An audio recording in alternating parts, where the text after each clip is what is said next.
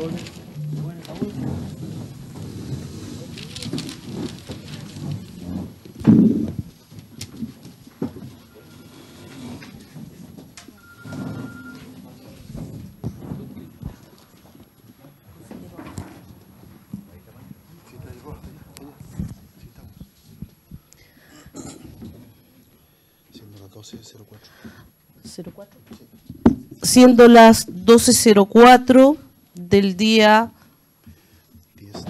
10 de octubre del 2017, eh, damos inicio a la sesión número 27 ABA en nombre de Dios y de las cuatro provincias de la región de Magallanes. Gracias.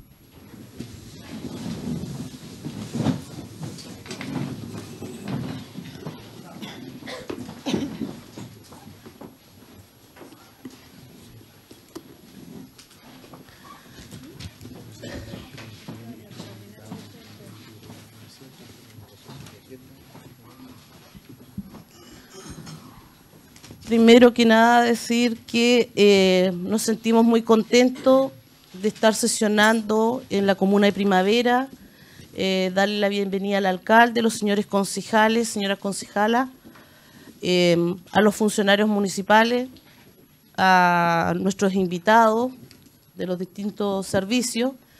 Y mm, esta presidenta en conjunto con los demás integrantes del Consejo Regional eh, tomaron la decisión que esta fuera la primera eh, sesión fuera de la capital regional. La próxima semana vamos a estar en Puerto Williams como una señal potente de descentralización y de querer llegar a los territorios más alejados. Y qué mejor que eh, partir por Tierra del Fuego. Por lo tanto, ahora vamos a escuchar al alcalde, don Bragomir Bristilo, quien va a hacer una exposición del desarrollo comunal y les comento que estaba invitado el intendente y el gobernador provincial que por razones de agenda no pudieron estar presentes. Tengo entendido que al menos el gobernador me pidió la excusa porque tenía eh, que estar presente en un encuentro internacional en Ushuaia con algunas reuniones bilaterales. Em, y el intendente por razones de agenda no puede estar presente. Alcalde, le doy la bienvenida y le cedo la palabra para que usted eh, de su salud. Muchas gracias, Presidenta. Eh, en primer lugar, quiero agradecer, reiterar el agradecimiento al Consejo Regional por sesionar en nuestra comuna, saludar a los señores concejales y concejalas de la comuna, funcionarios municipales y personas invitadas que nos acompañan. La verdad que para nosotros es un honor poder contar con, su presencia y vamos a hacer una breve presentación de lo que en lo cual nos encontramos trabajando como, como comuna, donde vamos a hablar muy cortito sobre algunos temas que son relevantes para nuestra gestión, que tienen que ver con el mejoramiento y ordenamiento urbano. Y aquí estamos relacionados directamente con un proyecto de, la verdad que son cuatro proyectos de espacios públicos que hemos postulado. Eh, de los cuales el primer proyecto que involucra el eh, mejoramiento de mobiliario urbano y paisajístico del sector eh, central de, o, centro cívico de Cerro Sombrero, proyecto que se inició el año 2015 eh, con supuestamente cerca de 2 mil millones de pesos que involucraba mejoramiento desde el sector paradero de buses hasta la iglesia del pueblo.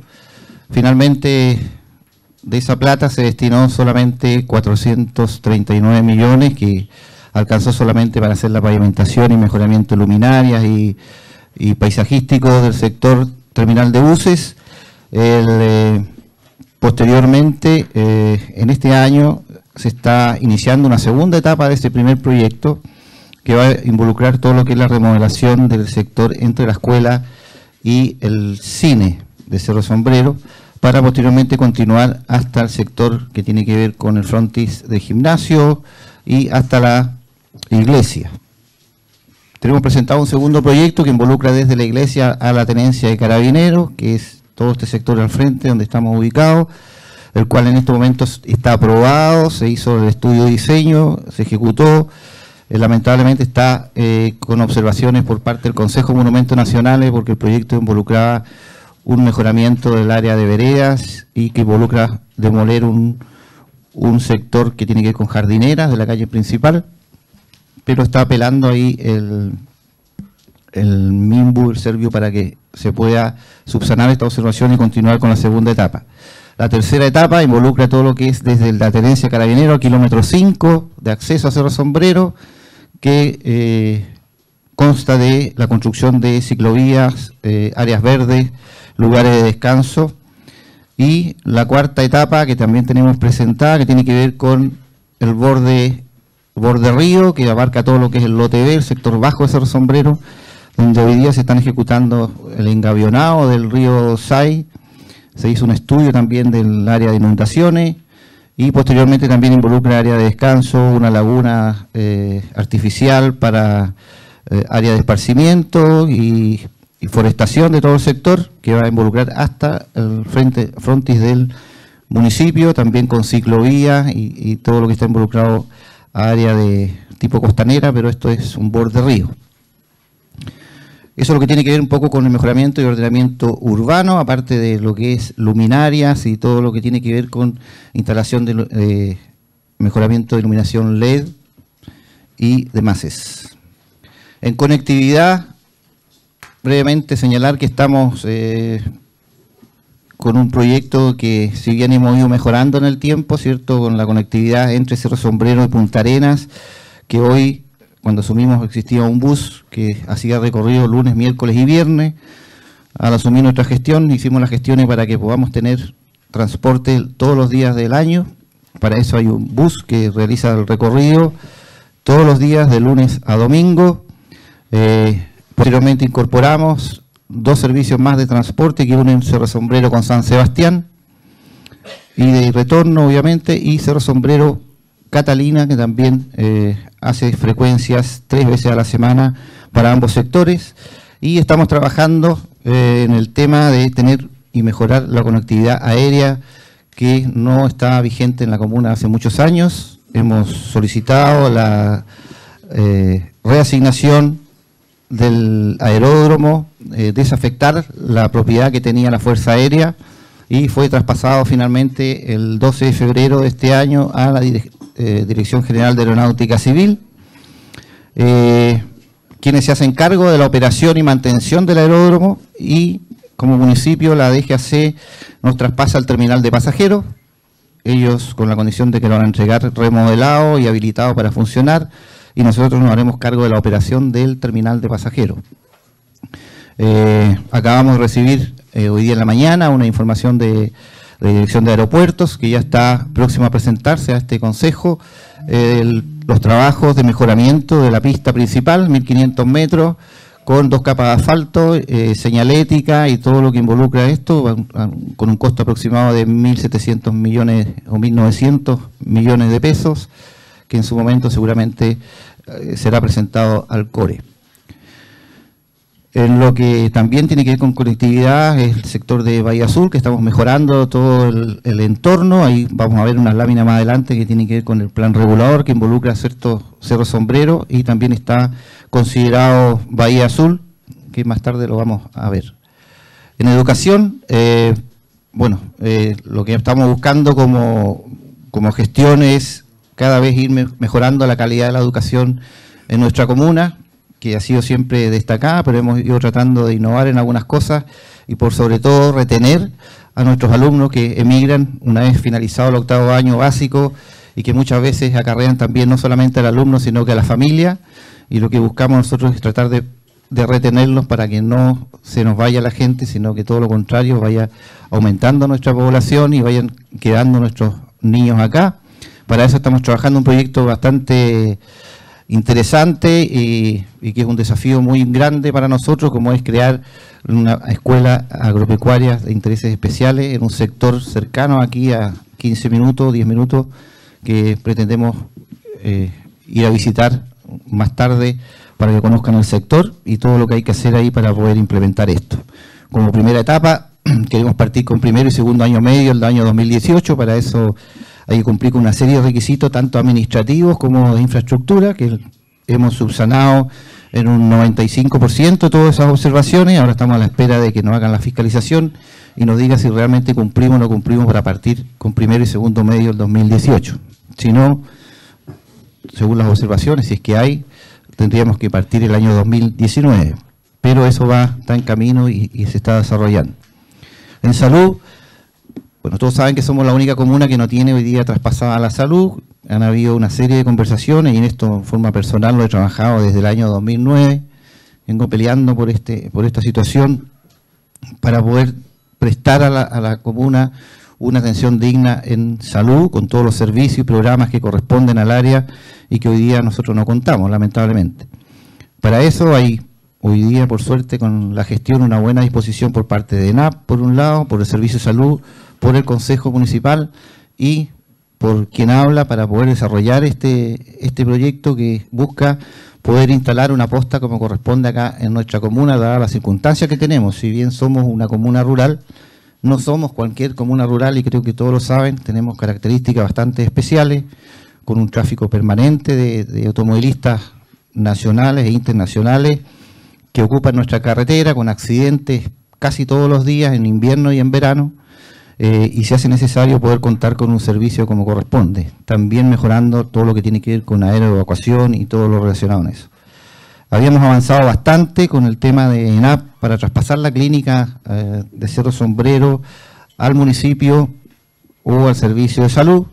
Eh, después de muchas conversaciones, se ha optado finalmente por construir una posta nueva a un costado de la clínica que existe hoy día, el centro, o la infraestructura que está, y dar el vamos de una vez por todas a este tema para poder eh, seguir trabajando, implementándolo como es nuestra idea de la mejor manera posible.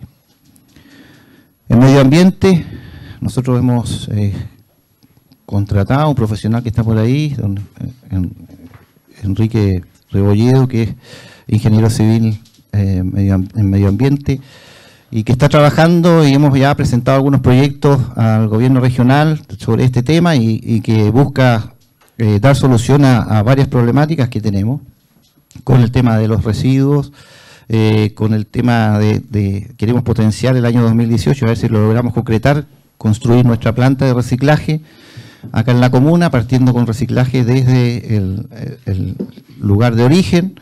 Para eso se presentó un proyecto que hoy está creando conciencia en la comunidad, ¿cierto? Para que vayamos trabajando en esa temática el retiro de escombros también de, de, los patios de las viviendas, que tenía relación también con lo que planteamos delante, la adquisición de un camión multipropósito que nos va a ayudar en eso. Eh, y, como digo, creando conciencia medioambiental en nuestra, en nuestra comunidad, trabajando con los niños del colegio y con la comunidad en general. En seguridad comunal, bueno, fuimos pioneros en la región en crear nuestro Consejo de Seguridad Pública Comunal, el año 2015, antes que se promulgara la ley. Eh, venimos trabajando ya con este consejo, eh, donde hay muchos involucrados, desde el consejo, obviamente, las PDI, Carabineros, el Servicio Agrícola y Ganadero, etcétera. Hay una, una cantidad de, de, actores que estamos trabajando en esto, en el bien de mejorar las falencias que existen hoy día, no solamente en nuestra comuna, sino que también a nivel provincial, de los controles y todo lo que tiene que ver sobre todo con temas de hurto, eh, el tema del abigeato, que es casi lo más común en estos sectores, así que se está avanzando bastante bien y ya finalmente nos hemos asociado en este año, después de promulgar la ley, con la, hoy día tenemos un consejo intercomunal de seguridad pública, donde hemos integrado a la comunidad, a la comuna de Timauquel, eh, siendo nosotros la base, eh, porque dada la circunstancia, la comuna vecina que no cuenta con todas las exigencias que exigen para eh, echar a andar este consejo, se han integrado con nosotros a, trabajar eh, intercomunalmente un tema muy importante que tiene que ver con educación y controles preventivos de drogas, de abigeatos, de hurtos, de robos, de una serie de cosas de violencia intrafamiliar que son necesarios, no por ser un lugar pequeño, ¿cierto? No estamos exentos de ese tipo de cosas. En vivienda, bueno, estamos, creo que por todos conocidos, ya próximos a iniciar la construcción de 60 viviendas en un terreno que adquirimos a Bienestar de Carabineros, que nos costó prácticamente tres años poder sacar adelante este, esta adquisición de un, terreno de 10 hectáreas y media, ya está adquirido eh, con toda como corresponde, está inscrito el terreno en el conservador de bienes raíces. Hoy día estamos presentando, hemos presentado un proyecto para poder hacer el cierre perimetral del recinto y ya eh, se está trabajando también con eh, una profesional que nos está asesorando en conjunto con el equipo municipal, ¿cierto?, del área social, jurídico, de, de planificación para la construcción y diseño de la nueva población y ya iniciando todo lo que tiene que ver con trabajo urbanístico eh, para poder eh, levantar estas viviendas que hoy día requiere, la verdad, una demanda habitacional importante que tenemos en la comuna, dar solución a el tan anhelado sueño de la casa propia para muchos vecinos que reúnen ciertas condiciones, eh, tienen que reunir ciertas condiciones para poder postular. Tuvimos más de 114 inscritos, familias inscritas, y se ha ido filtrando de acuerdo a las normativas que existen en los programas de acuerdo a lo que corresponde para poder asignar las primeras 60 viviendas. Estamos postulando a un programa de vivienda eh, que no se ha aplicado aquí en la región, que tiene que ver con el DS10, un programa nuevo de vivienda eh, rural que lanzó la presidenta Bachelet y en la región seríamos la primera comuna que implementa este, este tipo de, programa. Así que va a ser modelo, yo creo, para el futuro.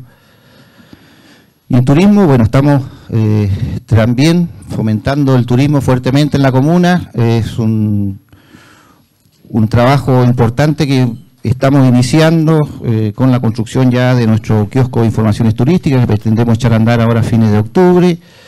Tenemos, construimos baños públicos para los buses que llegan todos los días a hacer el viaje, el full day que se llama, que vienen desde Punta Arena hasta las pingüineras pero pasan acá ida y vuelta con, los turistas. Eh, le hemos implementado baños públicos porque estaban usando lo que eran las dependencias de NAP y también generaba conflicto por los horarios en que estaba cerrado el gimnasio y todo este tipo de cosas y también genera conflicto obviamente de NAP en el, sentido de la mantención de, esos, de ese recinto. Por ello construimos unos baños públicos que permanecen abiertos con duchas, con mudadores, con tanto para damas, varones y también para discapacitados, que está ya habilitado para quienes quieren utilizarlo y se le dio el vamos ahora justamente en una carrera del Caruquinca que, que tuvimos recientemente, así que eso ya está funcionando. Eh, aparte de eso, estamos trabajando un proyecto para generar un museo con la historia del petróleo en manantiales. Hemos solicitado a la quinta división de ejército, no hagan entrega de la escuela, que era de Manantiane, que está emplazada ahí a continuación del pozo número uno de petróleo, pero que se promociona en todas partes, ¿cierto? Y así como es Bahía Lomas también, se promociona en muchos sectores, pero la verdad que son proyectos que no están desarrollados y no hay acceso para los turistas. Eh, nosotros estamos empeñados en poder subsanar estas cosas y trabajar de la mejor manera para habilitar estos recintos que son un gran atractivo, pero que hoy día eh, engañosamente se invita, pero que cuando lleguen acá no pueden acceder. Una, porque el pozo número uno está con candado, porque es un recinto de NAP, por lo tanto hay que mirarlo de afuera. La idea del municipio es crear ahí este museo con la historia del petróleo y nosotros poner dos funcionarios por rol, 7 eh, y 7, para que eh, esté permanentemente en el museo, se muestre todo lo que es la historia de NAP y también hay acceso permanente al pozo número uno de petróleo eh, por lo tanto, nosotros nos haríamos cargo de ese sector, que haría un punto atractivo como primera entrada a, la provincia de Tierra del Fuego, a la isla, ¿cierto? un primer punto turístico ahí en Manantiales. Para eso, como digo, trabajamos con, solicitamos a Quinta División eh, ceder la escuela, eso ya fue aprobado, falta el trámite administrativo oficial que nos diga que efectivamente ya está traspasada para poder nosotros presentar un proyecto de restauración y empezar a, trabajar un diseño de un museo moderno, interactivo, que funcione con eh, ahí en ese sector, para lo cual ya hemos adquirido algunos elementos eh, eh, como municipio, estamos viendo la gestión ahí de un equipo de perforación completo, hecho a escala, que funciona, trabaja y hace todo, todo esto. así que ese es nuestro gran interés de echar a andar lo más pronto posible. Paralelo a ello, estamos con el tema de poder construir también a futuro dentro de nuestra comuna un museo que cuente la historia de la ganadería. Tenemos la suerte que en nuestra comuna está la estancia Manantiales, que fue la segunda estancia fundada en Tierra del Fuego en el año 1890, eh, o sea, la estancia Springer, perdón, que está aquí a, 12 kilómetros y que nos permitiría crear ahí un museo eh, interesante, eh, creando en el sector un parque temático que cuente un poco toda la historia de lo que es Tierra del Fuego y sus atractivos, y también construir ahí un centro de investigación y control de Bahía Lomas, puesto que ese sector tiene acceso directo hasta la Bahía Lomas. Eh, por lo tanto, nosotros haríamos un control de quienes acceden eh, y construir en el recinto ahí unos puestos de avistamiento de aves, pero que sea eh, un acceso controlado y no hoy día como está todo cerrado con candado porque son campos privados, ¿cierto? Al tener la estancia Spring nosotros podemos construir no un camino, sino que una senda nomás de penetración hasta eh, Bahía Loma o lo más cercano posible, ahí hacer el tramo caminando, ¿cierto? Pero tener algo controlado y que pueda ser realmente un atractivo turístico. Hoy día se ofrece, de hecho me habían invitado a España a promocionar esto y la verdad que dije que vamos a ir a promocionar si no está desarrollado el proyecto. Por lo tanto, eso también lo estamos trabajando y estamos gestionando con bienes nacionales a ver si nos pueden ceder este terreno para que podamos concretar este este proyecto turístico. Eso es un poco lo que tiene que, ver con esto. Ahora un poco vamos a mostrar así brevemente los proyectos eh, que tenemos. Hablábamos ahí del proyecto espacios públicos, lo que se construyó, como le decía yo, la primera etapa fue este sector que está acá, con pavimentación, ¿cierto? Luminaria, donde no existía, todo luminaria LED. Eh, mobiliario urbano, áreas de descanso, escaleras con, de acero inoxidable y todo el área verde con regadío automático y todo lo que lo que está relacionado hasta acá, con semáforos, pasacalles iluminados y, la verdad que le cambió la cara totalmente a este sector. Lo que continúa ahora, la segunda etapa, tiene que ver con este sector que es hasta el cine, desde la escuela al cine, con la construcción de un paseo peatonal que va a haber por detrás del cine, también con mejoramiento de áreas verdes, remodelación, instalación de iluminación LED, eh, regadío automático y todo eso. Este proyecto general, la verdad, que abarcaba hasta acá. Todo esto era lo que estaba considerado, pero nos han ido dando de a poquito los recursos y vamos avanzando bastante lento, pero se va ejecutando. Esto involucra hacer un cambio general de todo, modificar la plaza, el acceso a la escalera del, del polideportivo, los estacionamientos, la luminaria, los espacios de recreación, eh, la iglesia, remodelar todo lo que tiene que ver con las áreas verdes que hay en este sector, eh, construir aquí una jardinera que va a ir bordeando todo el cerro, ¿cierto? Y va a llegar hasta la entrada del, polideportivo, una jardinera que es la que está construida hoy en, la calle Bernardo Higgins, que es esta, pero que ahí donde está cuestionado por el Consejo de Monumentos Nacionales porque se involucra correrla un metro hacia atrás y poderle darle continuidad a todo esto, construyendo ciclovía y todo lo que está relacionado. Pero vamos por la segunda etapa ahora, que es este tramo, y que bueno, nos va a ir ayudando a poco a mejorar el centro cívico. Acá se puede ver un poco lo que se realizó, ¿cierto? Lo que era antes del proyecto a lo que tenemos hoy, con pavimentos, luminarias peatonales y, y vehiculares, mobiliario de distinto color. Este cambió de el envolvente porque el Consejo de Monumentos Nacionales lo exigió así. Esto era vinyl signing y no concordaba con el entorno de los edificios emblemáticos que están declarados hoy día monumento histórico, ¿cierto? Era como un lunar. Nos hicieron eh, cambiar la envolvente, por lo tanto quedó muy similar a los edificios que están en su entorno. Se amplió, se aumentó la capacidad también y eh, se colocó la señalética para estacionamiento de buses, para discapacitados, hay semáforos acá, hay eh, pasos peatonales, está todo señalizado como corresponde. Ah, ah. ¿Qué pasó?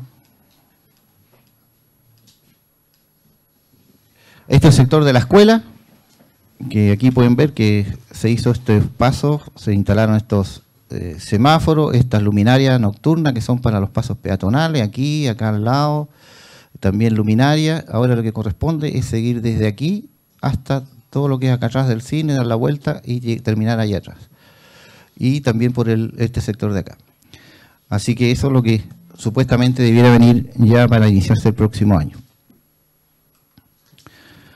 Respecto a los proyectos FRIL, nosotros se nos asignó por parte de este Consejo, a quienes agradecemos una vez más los aportes que nos han brindado todos estos años en los proyectos FRIL 506 millones 300 mil pesos. Eh, con eso presentamos 10 proyectos FRIL y que se encuentran, eh, tal como se ve ahí, eh, recepción final, esto está en ejecución, la construcción de hitos de acceso también está en ejecución, la ampliación y mejoramiento del camping municipal está en ejecución, la construcción de stand de artesanía, sector LOTV, que es donde están las canchas jineteadas y todo eso, está en proceso de licitación, vamos a la segunda, porque la primera no hubo oferentes, la construcción del escenario de exposición ovina, que tiene que ver con un escenario simulando un galpón de esquila, pero abierto, eh, con tres guías para hacer las muestras de esquila para el Día del Ovejero, que también está en proceso de licitación y va en la segunda, por no tener oferente. La construcción de casa de profesores para la escuela agropecuaria está en proceso de licitación en estos momentos.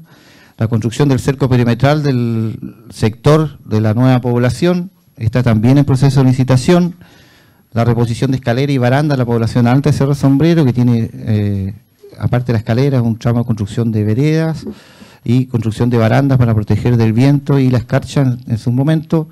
Está en espera de la aprobación final del, gobierno regional. Todavía no recibimos nosotros si tiene observaciones o no tiene observaciones.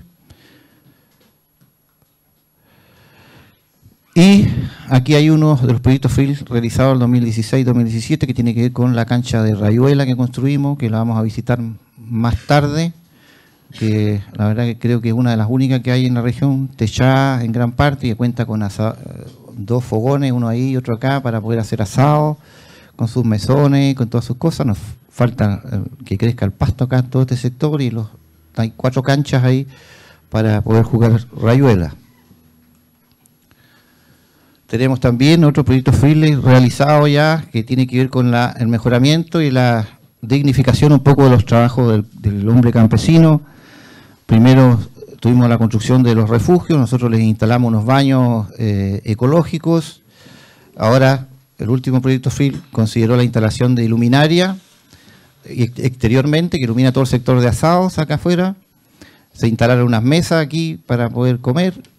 Eh, y interiormente se le instaló una, una luz y un enchufe para cargar celulares. Hoy día ha cambiado mucho el tema de los ovejeros y andan todos con su celular, así que una forma de dignificar ellos, la verdad que están súper agradecidos. Desde cuando le pusimos el baño ya era algo distinto, así que están bastante contentos y agradecidos por, por, este, por este proyecto.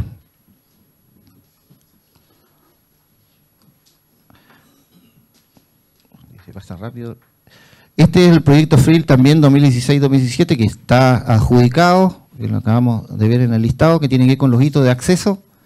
Eh, son eh, cuatro hitos, cinco, la verdad que son, eh, que tiene que ver con esta infraestructura que vamos a construir en todos los accesos límites de nuestro territorio.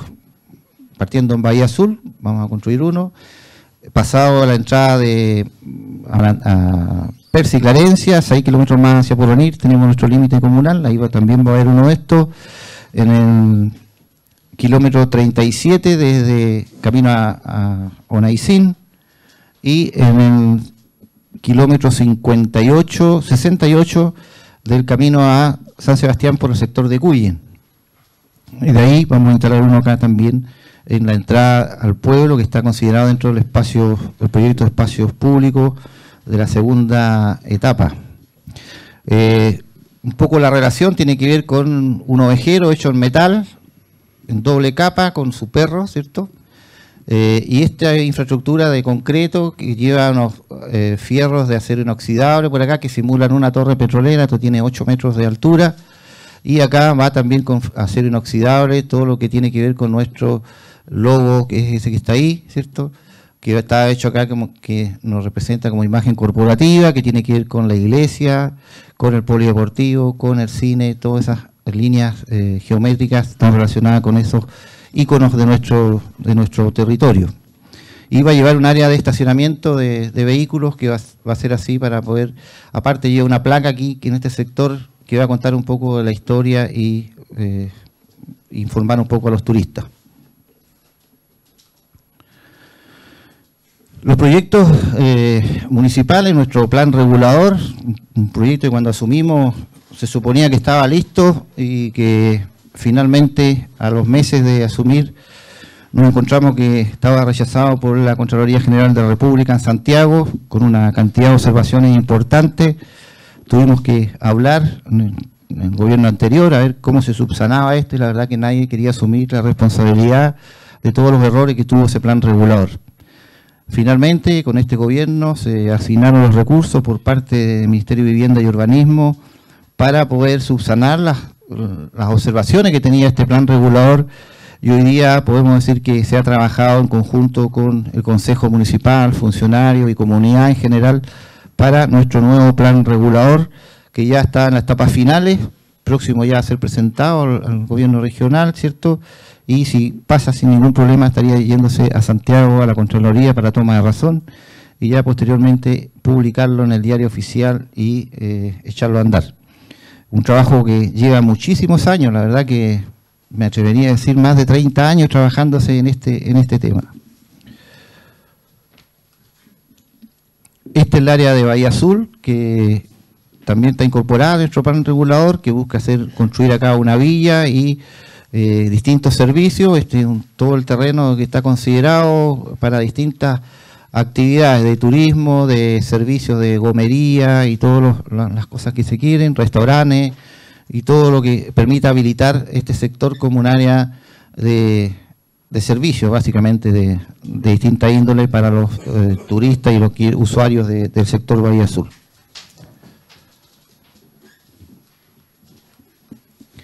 Esto tiene que ver con el proyecto de la población Pioneros, que es donde se va a emplazar nuestra nueva población, que es el terreno que adquirimos a Bienestar de Carabineros, son 10 hectáreas y media.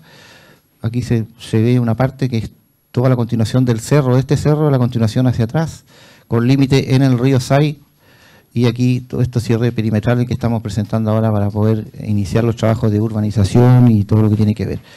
Esto también lo vamos a visitar más tarde para que conozcan bien el lugar. ¿Qué pasa?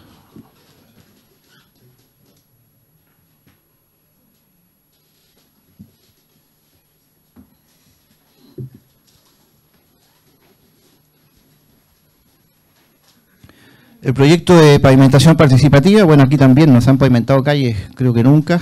Eh, aquí hemos postulado nosotros a un proyecto FRIL que tiene que ver con el diseño de pavimentación y eso la verdad que nos ha ayudado montones porque al ingresarlo por esa vía nosotros nos permite rebajar un poco los aportes que, tenemos que hacer como municipio para la pavimentación participativa. Eso es reconocido por el, el Servio y eh, nos permite rebajar del porcentaje que teníamos que aportar en forma normal eh, por haberlo hecho cierto a través de un proyecto aparte, FRIL, que nos permitió hacer todo el levantamiento de la necesidad de pavimentación con su agua lluvia y todo lo que, lo que involucra este tema. Estamos iniciando, el proyecto está en proceso de licitación hoy día, que se adjudique la pavimentación, iniciándolo con la primera calle que tiene que ver desde aquí, de este edificio, hasta la escuela, que es el, el punto donde termina aquí. Es una calle que más se utiliza hoy día en, dentro de Cerro Sombrero, junto con la principal, ¿cierto? Que es Bernardo Higgins, la calle Eduardo Simián, que es la que pasa frente a la clínica y llega hasta acá, es la más larga de todas, y se estaría iniciando los trabajos eh, probablemente en el mes de noviembre, si todo anda, anda bien y sale adjudicada alguna empresa. Posteriormente ya tenemos presentadas dos calles más, que son calle Manantiales y calle Alejo Marcú, eh, y este año hemos presentado la calle Federico González, que tiene que ver con el sector de trabajo, que es también una de las calles más largas que existe. Así que es un proceso emblemático que nos va a cambiar también la cara eh, aquí dentro del pueblo. Y aquí estamos con proyectos municipales que son FNDR, que estamos trabajando, la verdad que nos ha costado, y lo comentaba yo delante en la, en la, en la sesión de comisión, es un proyecto, los FNDR han sido bastante problemático para nosotros, una porque no tenemos, somos un municipio chico, no tenemos los profesionales eh, capacitados como para armar los proyectos eh, FNDR y ya con los FRIL estamos súper acotados y hemos tirado a externalizar este trabajo y la verdad que hemos tenido muy malas experiencias eh, y, eso nos va a generar retraso porque uno se confía que va bien y pierde meses y finalmente le dicen no, ¿sabe qué más? Hasta aquí no más llego y no, no siguen. Hoy estamos trabajando con tres proyectos, más bien que son los más importantes, que es el diseño de nuestro nuevo cuartel de bomberos, que es el que ustedes ven acá, con capacidad para, para tres carros, con cuartelero, con sala de reuniones, cocina y habitación para cuatro voluntarios en forma permanente de guardia y habilitado con toda la normativa que corresponde de acuerdo a lo que exigen el Cuerpo Bombero de Chile. Ya fue presentado a la Superintendencia en Punta Arenas, eh, fue aprobado. Estamos en etapa del estudio de análisis de suelo para poder eh, ya presentarlo posteriormente a iniciar esta, presentarlo al, al CORE para que podamos tener los recursos para poder iniciar este tan anhelado eh, necesidad que tenemos hoy día eh, en, nuestra comuna, porque el cuartel que tenemos entre un solo carro está ubicado en un lugar pésimo que tiene eh, la salida muy complicada de los, de los carros. Y con este está pensado ubicarlo en un lugar estratégico que va a tener acceso a la población nueva y este sector bajo y va a reunir todas las condiciones necesarias. Este otro proyecto que se está trabajando también, que tiene que ver con el alero, que es un recinto eh, de eventos. Hoy día no tenemos en la comuna un lugar donde poder hacer capacitaciones masivas, eventos sociales o culturales, eh, porque lo que hay, que nos se dio en AP en su momento, la verdad que no contaba con ninguna normativa sanitaria, la verdad que está muy deteriorado, hoy día está inundado.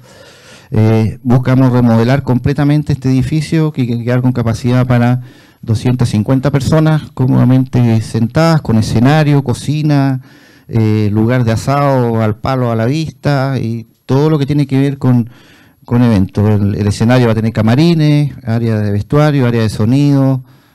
la verdad que un, un edificio bastante completo y también lo estamos ya trabajando y pronto yo creo que estaría listo para presentarse.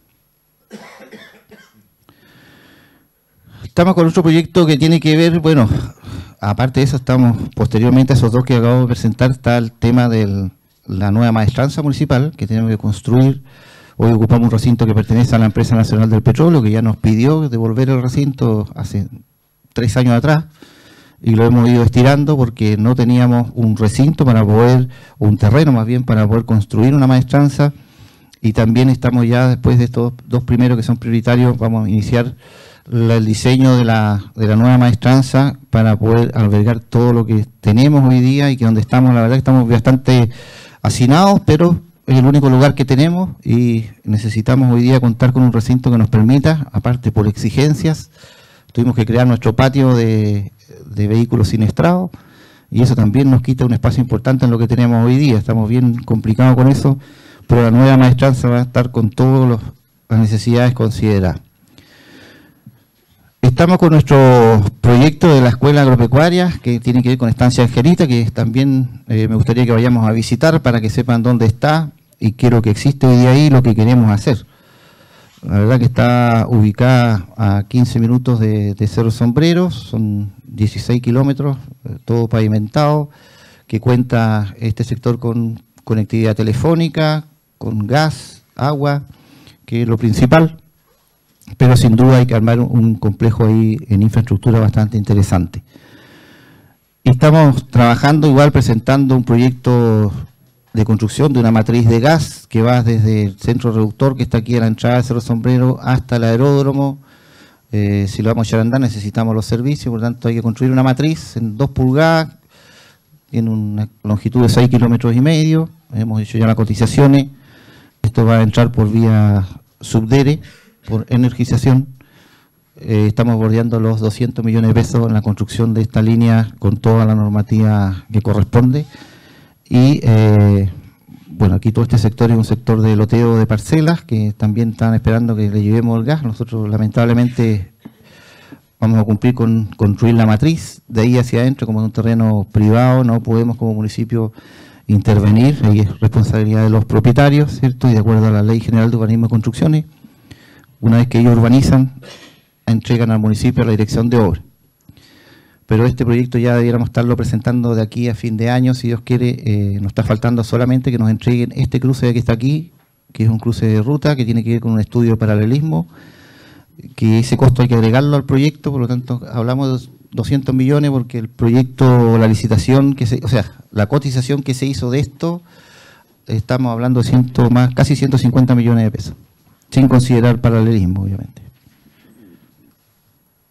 Eso sería lo que tenemos como más relevante dentro de nuestra comuna, eh, al margen de todo lo que ya hemos construido y que ha sido en beneficio de nuestra comunidad. Quiero agradecer eh, eh, al Consejo Regional por todo el apoyo que nos ha brindado siempre en nuestros proyectos, sobre todo lo que tiene que ver con la cartela FRIL, que sin ese apoyo importante del CORE y de los recursos que nos asignan, sería imposible para nosotros, las comunas pequeñas, poder optar a proyectos que, van mejorando la calidad de vida de nuestros habitantes y obviamente mejorando todo lo que tiene que ver con áreas de esparcimiento y todo ese tipo de cosas. Así que muchas gracias al Consejo por, su presencia acá en, la comuna.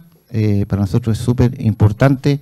Eh, que estén aquí con nosotros. Aprovechar y agradecer también a mi Consejo Municipal que permanentemente nos está apoyando también en nuestra gestión. Y indudablemente a quienes son los gestores de todo esto, una cosa es tener la idea, pero otra cosa es concretarla, a los funcionarios municipales que trabajan permanentemente en la adecuación y armado de los proyectos a la medida que nos permiten las competencias. Así que muchas gracias a todos y esa sería la presentación. Gracias.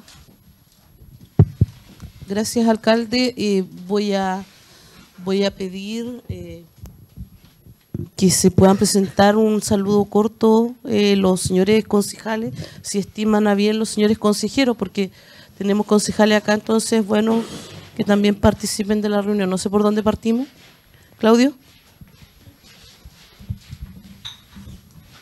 hola, buenas tardes. Mi nombre es Claudio Andrade concejal por tercer periodo. Buenas tardes, Karina Fernández Marín y mm, primera, mm, primer periodo de concejala. Muy buenas tardes, primero que nada dar las gracias a todos los presentes. Mi nombre es Ulises Segovia, por primer periodo de concejal. Buenas tardes, mi nombre es Alirio Álvarez Gallardo, primera vez de concejal. Gracias a ustedes.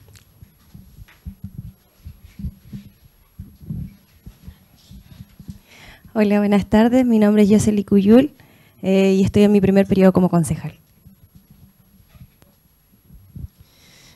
Hola, buenas tardes. Eh, yo soy Patricia Payán, concejal de la comuna por segundo periodo. Y aprovecho de darle las gracias por haber llegado hasta la comuna de Primavera. Gracias. Gracias, muchas gracias a los señores concejales y concejalas.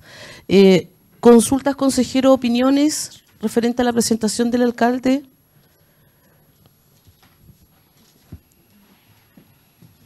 Don Roberto, ¿quedó algún proyecto?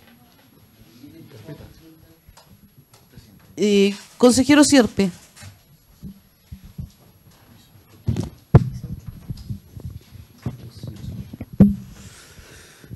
Yo la, la verdad que solamente para para hacer lo que no hago en forma habitual, pero quisiera felicitar al alcalde y al, y al cuerpo concejales, principalmente por un tema fundamental.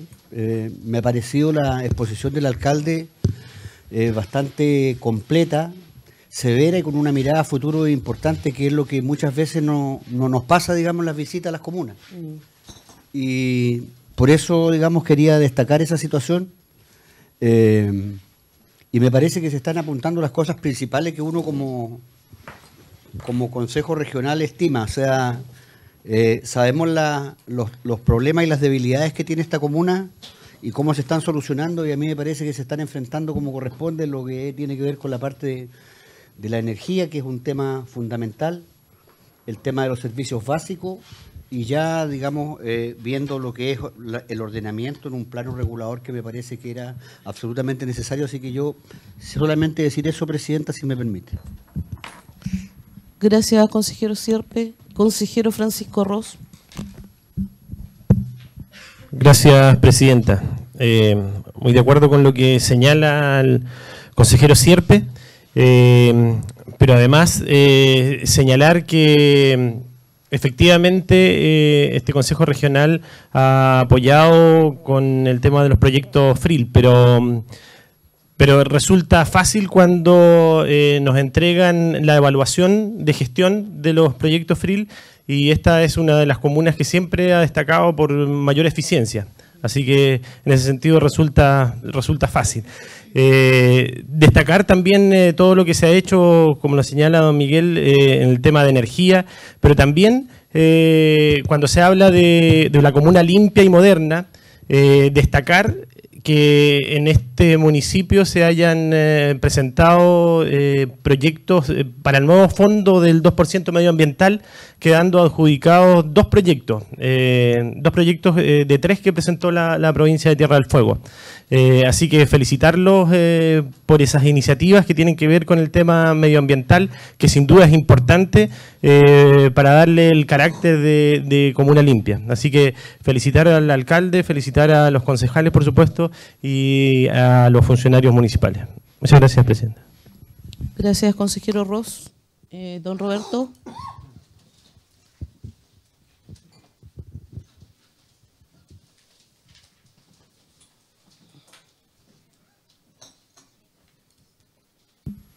Aló, buenos días.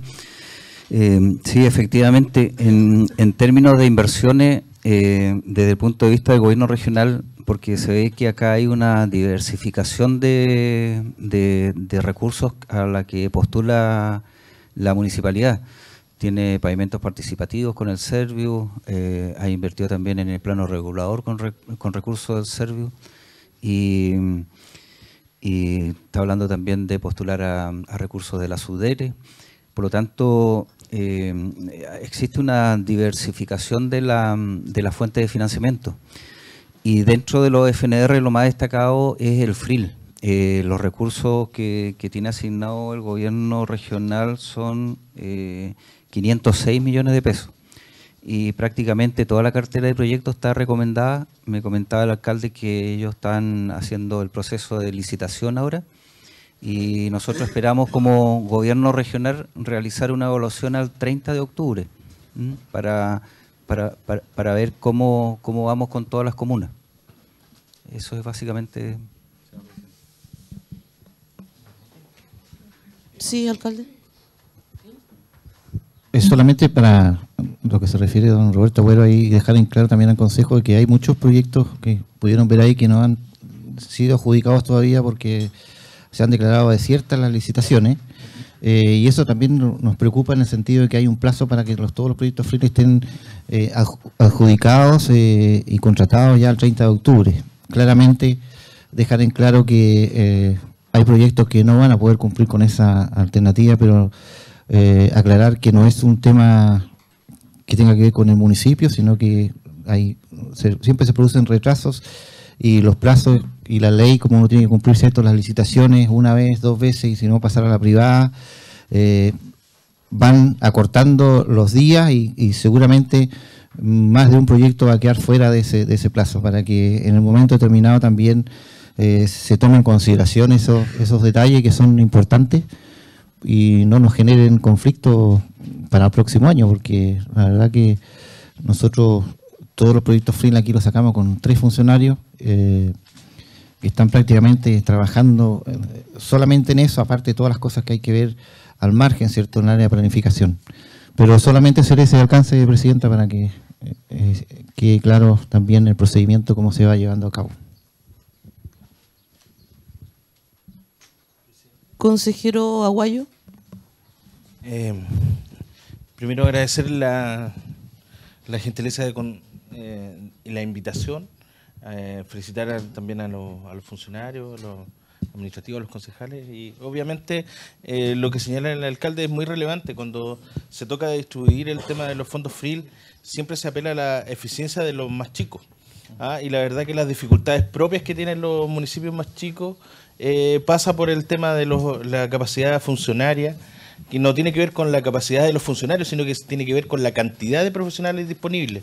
Y ahí es donde que ha sido un tema recurrente, presidente, que yo creo que debiésemos, eh, eh, es algo que hemos tocado los, los, tres años, los cuatro años que vamos a tener de, de consejero, yo creo que ahí hay que hay que ver eh, alguna fórmula que nos permita igualar la cancha con, los- con los municipios, sobre todo los rurales, ¿ah? que siempre tienen esta dificultad y que cuando nosotros em- empezamos a hacer la evaluación de cómo asignar los recursos, eh, em, se dice de que no hay proyectos que no están adjudicados o empiezan a, ver la, por qué no llegaron al, al 100%. Mun- municipio que ha llegado siempre al 100%. Eh, al menos en los últimos, los últimos procesos que nosotros nos ha tocado evaluar. Eh, eh, es menester de esto tomar en consideración lo que ha dicho el alcalde, reconsiderarlo, evaluarlo y ver de qué forma nosotros podemos disponer de alguna herramienta. Ahí yo creo que cobra especial importancia la Universidad de Magallanes, que tiene, que tiene un, un factor relevante que tiene que hacerse parte, tiene que em, eh, ayudar a construir el desarrollo con toda la cantidad de recursos que se le entregan. Es algo que lo hemos conversado y que creo que eh, desde el territorio cobra mayor vigencia para poder eh, sacar a la pizarra a la Universidad de Magallanes y todos los recursos que se le entregan y que de verdad hay un plan o una estrategia de, de apoyo a, los- a los municipios más pequeños. Entonces creo que es súper bueno que se diga porque estas cosas de repente eh, en el consejo cuando tenemos que hacer la distribución eh, se nos quedan estas cosas que no tiene que ver con las voluntades o, a veces tiene que ver con los con los prestadores de servicios, las empresas consultoras que no tienen una mayor gama o sencillamente no quieren moverse por tan tan tan proyecto tan pequeño o individualmente. Entonces, eh, son las dificultades que tiene el territorio y que este Consejo al menos ha tenido en consideración para poder distribuir eh, los recursos y potenciar a, la- a la- a las- a comunas más pequeñas, que ha sido una mirada, y no solamente en el tema de- de- del hormigón, sino que también en el tema social. Yo creo que ha habido un, trabajo eh, desde el Consejo Regional eh, con esa mirada y es bueno tenerlos a- al, frente a, los concejales y a los alcaldes para poder señalarlos y felicitarlos también por el trabajo que han realizado junto con los funcionarios. Gracias, presidente. Consejero Galvez. Gracias, Presidenta. Primero, al agradecer la invitación, señor alcalde, de poder estar en esta importante comuna de la provincia de Tierra del Fuego y de la región. Eh, nosotros una de las primeras cosas eh, de la salida de terreno fue junto con la Comisión de Medio Ambiente y Ciencia hace ya casi tres años, en la cual pudimos ver el trabajo que estaba realizando el municipio en toda la, en todo lo referente al, trabajo de medio ambiente, ¿no? Y ver que ese trabajo se ha profundizado obviamente da satisfacción porque creo que es el camino que deberían seguir no solo este, sino que todos los municipios respecto a eh, cómo atender, digamos, todas las materias de los residuos, puntos limpios, en fin, todo lo que ustedes están trabajando creo que es un ejemplo y, y naturalmente que es algo que hay que mostrar al resto de las comunas. Eh, la diversificación de la inversión, que no solamente apuesten a, los recursos regionales, sino que también busquen recursos en otros servicios, habla muy bien del trabajo que están realizando eh, la municipalidad y por tanto creo que ustedes pueden proyectar con tranquilidad el futuro y en eso reconocerle al alcalde la visión que ha tenido y bueno, yo creo que eh, el reconocimiento de la ciudadanía está claro al, al trabajo que ustedes han realizado. Por tanto, nada más que felicitarlo, alcalde, felicitar al cuerpo de concejales por el trabajo que están realizando y por supuesto también hacerle extensivo ese reconocimiento a todos los funcionarios municipales porque creo que ahí está la fuente, digamos, del trabajo y el éxito que ha tenido este municipio. Así que, alcalde, mis felicitaciones.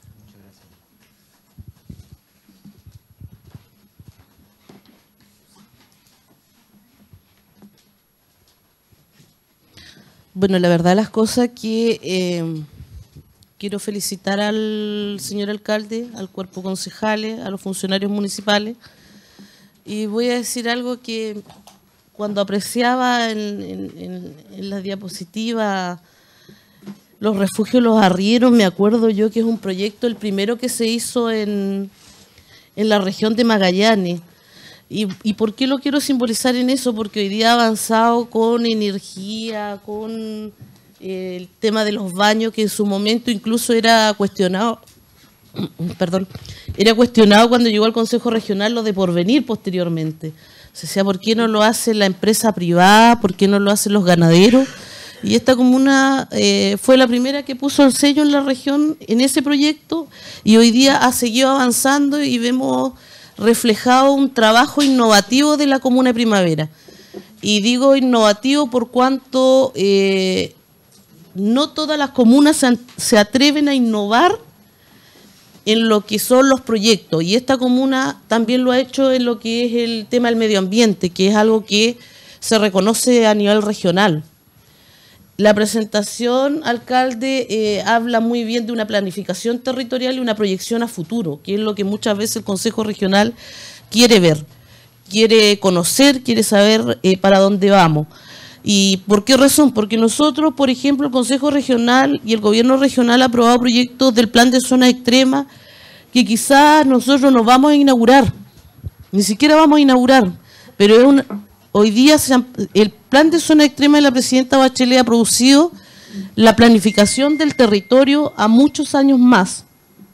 Ahí tenemos uno de los proyectos más importantes del Plan de Zona Extrema, que es por venir manantiales, que ya eh, nosotros vamos a dejar listo como gobierno regional 65 eh, kilómetros que ya entran a beneficiar a la comuna de Primavera. Si bien es cierto, la mayor parte de los caminos pavimentados en Tierra del Fuego están en la comuna de Primavera, esta es una señal potente eh, también de la presidenta con este territorio, el haber avanzado de tal manera que ya cubra las dos comunas de Porvenir y Primavera. En los temas FRIL decir que eh, cuando nosotros eh, aprobamos los FRIL cuando llegamos al Consejo Regional se hacía ya por el mes de mayo. Hoy día, eh, considerando el trabajo que deben realizar los municipios, estamos entregando, aprobando los recursos en el mes de enero, que ha sido algo que el Consejo Regional ha puesto sobre la mesa y que eh, afortunadamente eso permite que hoy día, si bien es cierto, se tengan algunas dificultades y las entendemos ya de las varias conversaciones que tenemos con los alcaldes y los concejales, eh, esto de acelerar en unos cuantos meses más la aprobación también brinda la oportunidad de que tengan más tiempo para poder eh, iniciar la ejecución de las obras. Esta comuna obviamente, em, de acuerdo a los indicadores, que en su momento tuvimos cinco indicadores, que no recuerdo los cinco precisamente, pero uno era de la eficiencia al gasto, los contratados, em, en fin, eh, siempre eh, no hubo ningún inconveniente con Primavera para eh, poder aprobarle el, monto que correspondía. No así otras comunas, y debemos ser francos, a los municipios se le entrega, nosotros más o menos eran 6 mil millones y el año pasado el gasto fue de 1.900 y tantos millones. Y entre eso, obviamente, la ejecución de esta comuna siempre fue em, bastante positiva.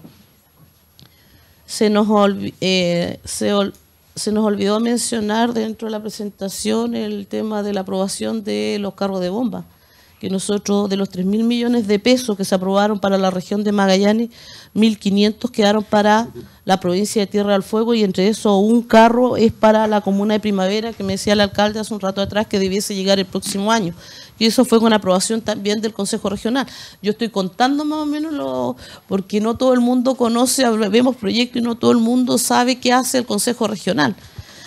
Eh, la posta obviamente está dentro de la adenda del convenio salud que debiera firmarse en pocos días más cuando venga la ministra. En eso hay que seguir avanzando, alcalde, y bueno, ahora ya no es traspasada, eh, va a ser una posta nueva.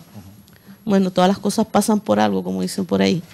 Pero por lo menos dentro de la adenda va a tener el financiamiento asegurado. Eh, la plaza también es parte del convenio de vivienda que nosotros aprobamos y que al menos el Consejo Regional solicitó que hubiese una obra emblemática en cada comuna de la región y, para primavera fue eh, cómo logramos que el centro cívico eh, fuera más, más grato, más agradable y estuviera en mejores condiciones.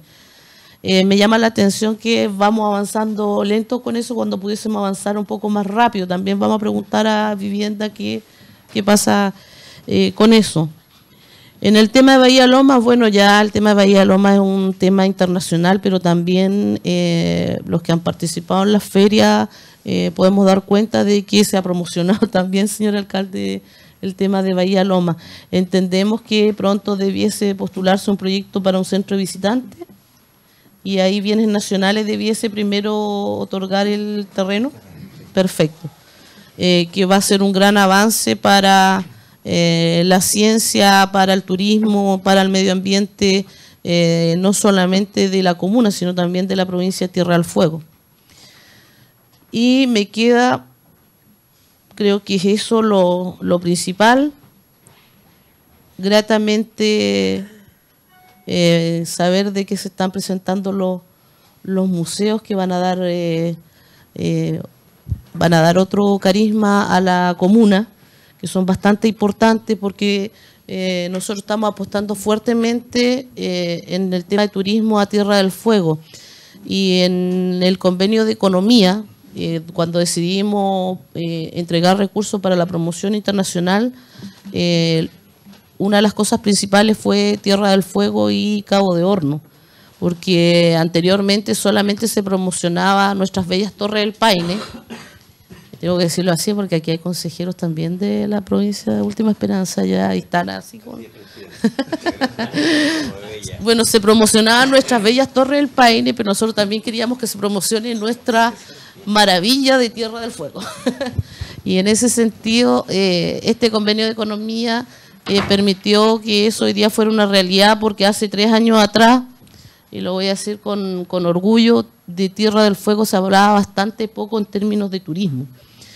Eh, y en eso quiero hacer una consulta a ustedes que están acá. ¿Ha aumentado el flujo de turistas? Porque lo que es en porvenir sí ha aumentado. Y ese es un trabajo eh, que se ha hecho. Ese no es un trabajo casual como piensan algunos. Y, es porque eh, se decidió políticamente que eso fuera así. Así que bueno, no me queda más que eh, felicitarlo, decirle que teníamos una invitación pendiente del alcalde hacía mucho rato, pero este Consejo Regional decidió que esta fuera la primera comuna en que sesionáramos a partir de la presidencia de quien habla. Y justamente ¿por qué?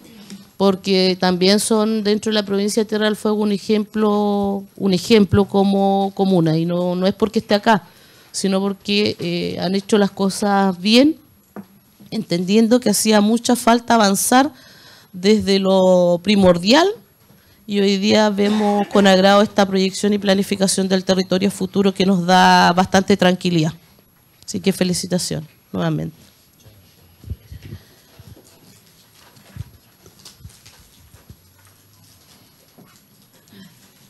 Pas- Pasamos al segundo punto de la tabla, que es la aprobación del acta de la sesión ordinaria número 26. Observaciones. En votación. Los que estén de acuerdo por aprobar, que levanten la mano, por favor. Es unánime. En el tercer punto de la tabla cuenta de correspondencia se encuentra dentro sus carpetas. Cuarto punto de la tabla, de la tabla materia o iniciativa específica de urgente despacho. No habiendo materia específica de urgente despacho, pasamos al punto quinto, cuenta de comisiones. Eh, y nos vamos a ir a la primera moción, que es la 276, que tiene que ver con la Comisión de Infraestructura, Patrimonio y Desarrollo Territorial. Consejero Sierpe, eh, que es sancionar la petición de financiamiento para el proyecto de adquisición vehículos de emergencia y servicios comunales de la Comuna Primavera con cargo a recursos FNDR a partir del proceso presupuestario 2017. Perdón, voy a dejar que la haga la presentación el vicepresidente de la comisión, don Dale Boretero. Muy bien, consejero Sierpe, ese gesto lo engrandece y esperaba que fuera así. Consejero Eteroy. Gracias, Presidenta. Moción número 276 de fecha 10 de octubre de 2017. Trabajada esta iniciativa por la Comisión, se sugiere al Pleno del Consejo Regional sancionar petición de financiamiento para el proyecto denominado Adquisición Vehículo de Emergencia y Servicios Comunales, Comuna de Primavera, con recursos FNDR a partir del proceso presupuestario 2017. Nombre del proyecto, adquisición vehículo de emergencia, servicios comunales, Comuna de Primavera. Código VIP 304 81165-0 por un monto de 275 millones de pesos. Gracias, presidente. Consultas. No habiendo consultas, en votación. Los que estén de acuerdo por aprobar la moción, levanten la mano, por favor. Es unánime. Gracias, consejero.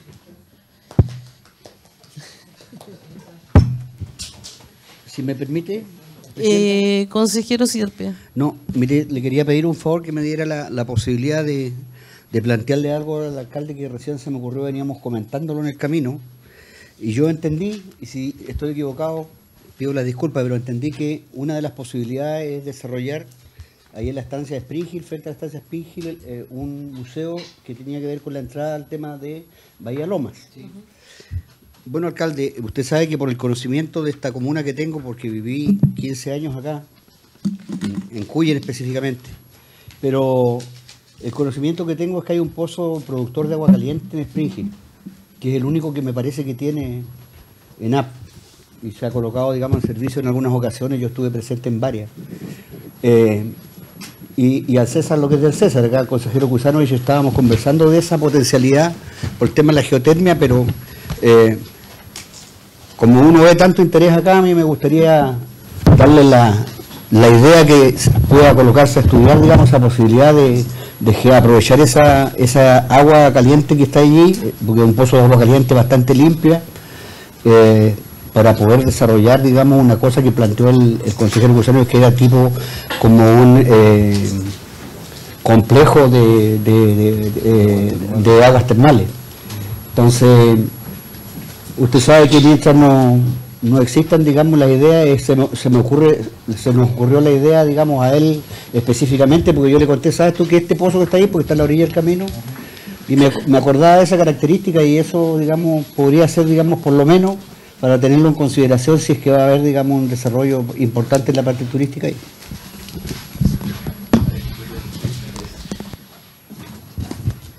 Gracias, consejero. Pasamos a la segunda moción, la número 277, que es sancionar realización de la quinta sesión extraordinaria en la ciudad de Punta Arenas. Eh, para eso le voy a pedir al consejero presidente de la Comisión de Régimen Interior, don Alejandro Cusano, y se refiere a ella. Gracias, Presidenta. Bueno, en primer lugar quiero saludar al alcalde y a los concejales y encantado de estar acá en Tierra del Fuego, que aparte que me fascina venir a Tierra del Fuego, eh, es este tiene todo un tema de, de aventura y de futuro tremendo. Bueno, moción número 27 de fecha del 10 de octubre del 2017. Trabajada esta iniciativa por la Comisión, se sugiere al Pleno del Consejo Regional sancionar la realización de la quinta sesión extraordinaria en la ciudad de Punta Arenas, la cual se efectuará entre el 17 y el 20 de octubre del año en curso.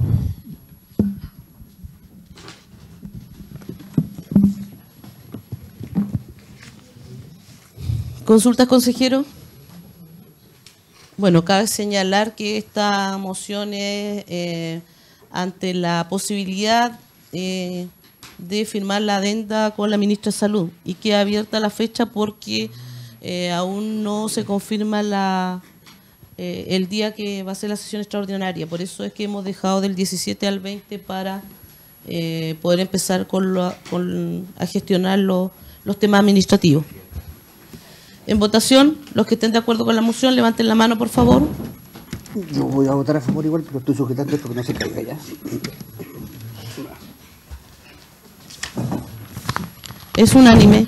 Gracias, consejero.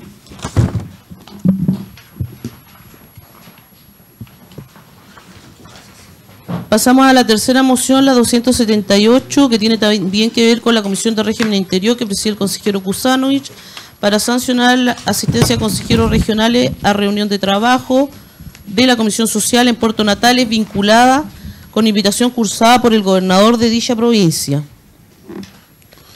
Gracias, Presidenta. Moción número 278 de fecha del 10 de octubre del 2017.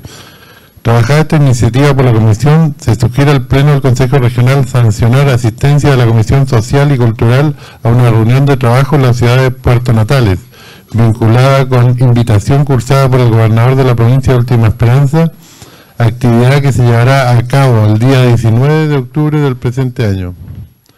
Por lo anterior, se efectuarán las gestiones administrativas de rigor para entregar los fondos no sujetos a rendición y según corresponda validar el sistema de transporte requerido. La Secretaría Ejecutiva acredita la existencia de recursos que permitan llevar a cabo esta actividad. Gracias. Bueno, les señalo que es eh, para visitar el hospital y porque la Comisión Social que preside Francisco Ross está viendo eh, los destinos junto con la Comisión de Salud también, donde está el consejero Sierpe, la consejera Ollarzo y el consejero Sar, em, para ver los destinos que van a tener los hospitales eh, antiguos. En votación, los que estén de acuerdo, levanten la mano, por favor.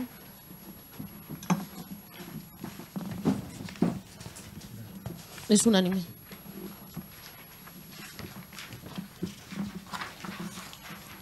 Pasamos a la moción número 4, la 279, que también de la Comisión de Región Interior, que tiene que ver con sancionar asistencia a consejeros regionales al Seminario Internacional, la descentralización y su contribución al desarrollo económico y productivo territorial, cursada por la Subdere. consejero Usanovich, por favor. Gracias, Presidenta. Moción número 279 de fecha del 10 de octubre del 2017.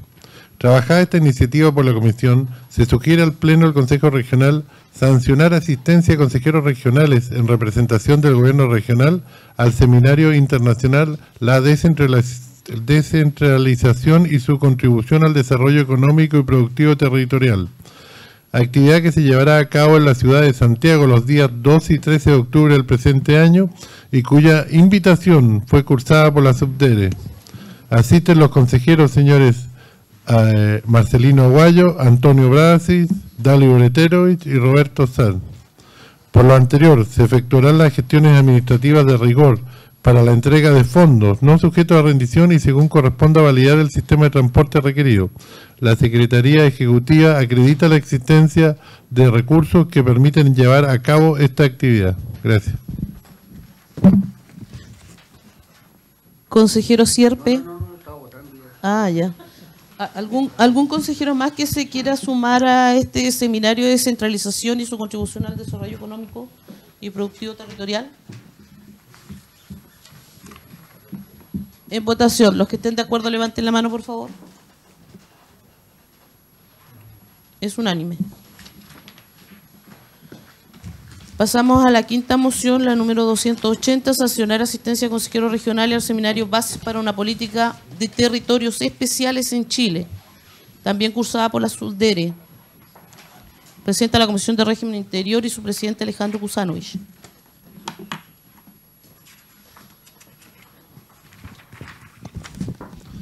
Gracias, Presidenta. Moción número 280 de fecha del 10 de octubre del 2017 Trabajada esta iniciativa por la Comisión, se sugiere al Pleno del Consejo Regional sancionar asistencia a consejeros regionales en representación del Gobierno Regional al seminario Bases para una Política de Territorios Especiales en Chile, actividad que se llevará a cabo en la ciudad de Santiago el día viernes 20 de octubre del presente año y cuya invitación fue cursada por la Subdere.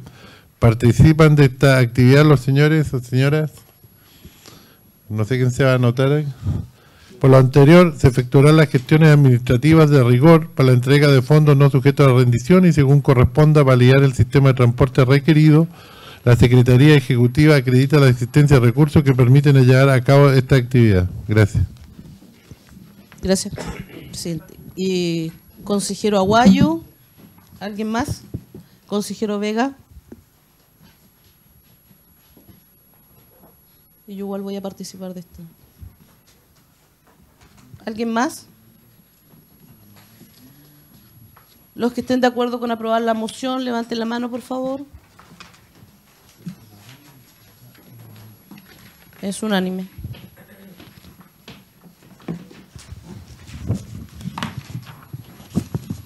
Pasamos a la sexta moción, la número 281, que tiene que ver con sancionar el pronunciamiento ambiental del gobierno regional en el contexto de la participación en el sistema de evaluación del impacto ambiental respecto a la empresa Geopar FEL SPA vinculado al proyecto de estimulación hidráulica Pozo Huaquén X-1 y que tiene que ver con la Comisión de Medio Ambiente. Para eso le voy a pedir al consejero presidente, don Tolentino Soto, España, por favor, que dé a conocer la moción. Gracias, Presidenta. Moción número 281 de fecha 10 de octubre de 2017. Habiendo sido trabajada esta iniciativa por la Comisión en base a la información proporcionada por el Ejecutivo a través de la Unidad de Desarrollo Regional, se sugiere al Pleno del Consejo Regional sancionar pronunciamientos favorables del Gobierno regional en el contexto de la participación del sistema de evaluación de impacto ambiental relacionado con el proyecto Estimulación Hidráulica Pozo Huaquén X1, correspondiente a la empresa Geopark FEL y cuyo representante legal es el señor Gonzalo Mariano Andrés Watanabe.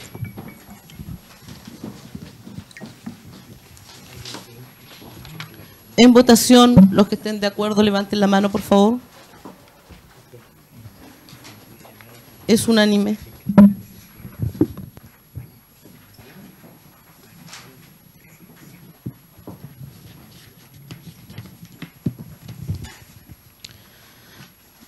Pasamos a la moción número 282, que es sancionar la petición de la empresa Inversiones Fueguina Limitada para acogerse a los beneficios tributarios de la Ley 19149 Tierra al Fuego y que está radicada en la Comisión de Presupuesto y Fomento Regional que preside el consejero Nicolás Galvez.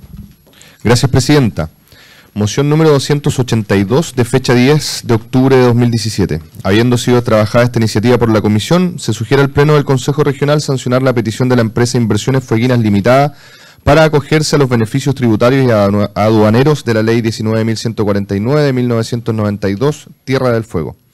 El detalle se consigna en los siguientes términos. Empresa Inversiones Fueguinas Limitada, RUT 76.592.040-6, rubro cría de ganado ovino y explotación lanera, dirección Estancia Milleray, kilómetro 65,2 de la ruta 279, comuna de Porvenir, provincia de Tierra del Fuego. De acuerdo con los antecedentes presentados por los organismos públicos competentes, la actividad desarrollada por la empresa se encuentra identificada dentro de la Estrategia de Desarrollo Regional y no corresponde a un sector sobredimensionado. Gracias, presidente. En votación, los que estén de acuerdo, por favor, que levanten la mano. Es unánime. Y pasamos a la próxima moción que también está relacionada con la Comuna de Primavera y que tiene que ver con sancionar la petición de la empresa Honorato Carvajal Guerrero para acogerse a los beneficios tributarios de la Ley 19149 Tierra al Fuego. Y le vamos a pedir al presidente de la Comisión de Presupuesto y Fomento Regional, consejero Nicolás Galve, que presente la moción, por favor. Gracias, Presidenta. Moción número 283 de fecha 10 de octubre de 2017. Habiendo sido trabajada esta iniciativa por la Comisión, se sugiere al Pleno del Consejo Regional sancionar la petición de la empresa Honorato Carvajal Guerrero para acogerse a los beneficios tributarios y aduaneros de la Ley 19.149 de 1992, Tierra del Fuego. El detalle se consigna en los siguientes términos. Empresa Honorato Carvajal Guerrero, RUT 6.362. 778-K, rubro cría de ganado ovino y explotación lanera, dirección lote 33A, kilómetro 72 y medio de la ruta Y257, comuna de Primavera, provincia de Tierra del Fuego. De acuerdo con los antecedentes presentados por los organismos públicos competentes, la actividad desarrollada por la empresa se encuentra identificada dentro de la Estrategia de Desarrollo Regional y no corresponde a un sector sobredimensionado.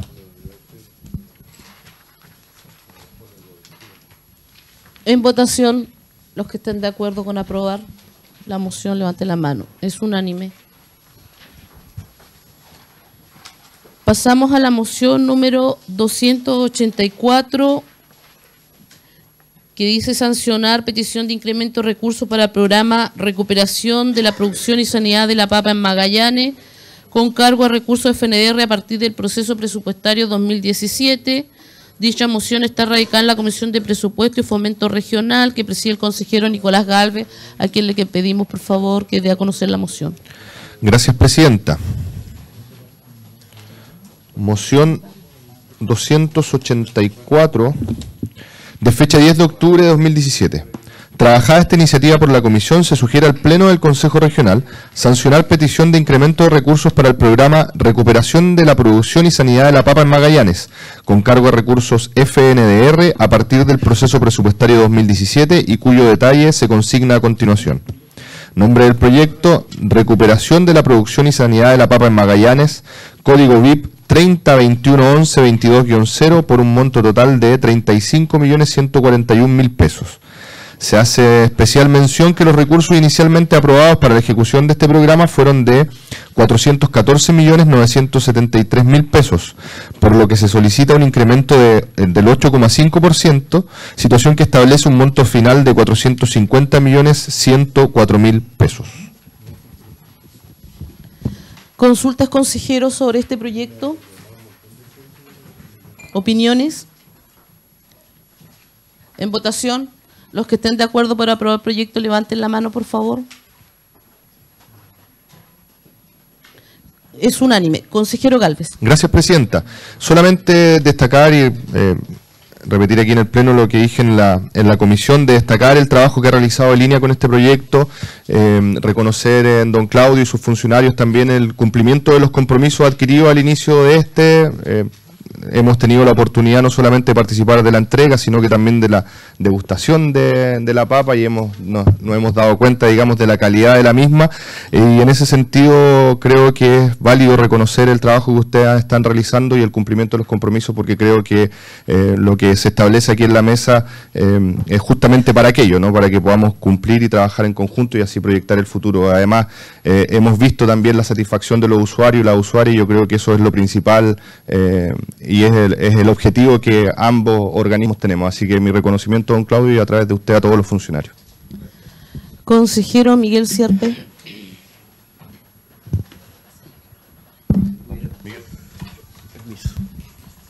Aló. Eh, bueno, aprobado, digamos, este proyecto. eh, yo creo, me imagino que con esto, la, la verdad que lamentablemente no pudimos llegar al horario de la reunión. Era nuestra intención, pero no fue posible. Eh, a mí me hubiera gustado preguntar, y, si es una infidencia preguntarle, digamos, me gustaría preguntarle al director, eh, porque este proyecto que hemos aprobado y que ha resultado, todo el mundo ya le ha dado el visto bueno, digamos, al inmenso avance que significó y que fue un proyecto redondito aprobado por el Consejo Regional, me parece que también tenemos que recordarnos que este proyecto consta de dos partes. No es solamente un proyecto de una, de una vez, sino que es un proyecto que tenía dos etapas. Y, avanzar, digamos, en lo que se, inclusive entiendo yo que se avanzó más que en la, en la primera temporada, ahora los resultados han sido más óptimos aún, entonces me interesaría saber, digamos, cuál es el trámite que sigue, porque si nos vamos a aprobar un proyecto que en la primera etapa anduvimos bien y que realmente nos ha dado un impulso importantísimo y que nos hace mirar, digamos, hacia otro tipo de producto, no solamente la papa, a mí me gustaría, digamos, saber si tiene alguna información en qué condiciones se encuentra el proyecto, digamos, que es la segunda etapa de este que estamos terminando. Eh, ¿me, espera, ¿Me espera un momentito? Debo pedirle la aprobación al Consejo Regional para que el director de línea pueda contestarle al consejero Sierpe si no hay ningún inconveniente. Por favor. Gracias, gracias. Eh, gracias primero que nada por aprobar el, el presupuesto.